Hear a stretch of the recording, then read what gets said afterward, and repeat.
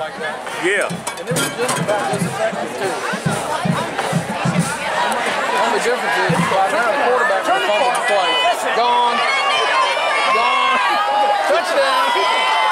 Touchdown. That's touchdown, eh? Luke Hanson hands off to Adrian Warren, who carries down to the one-yard line.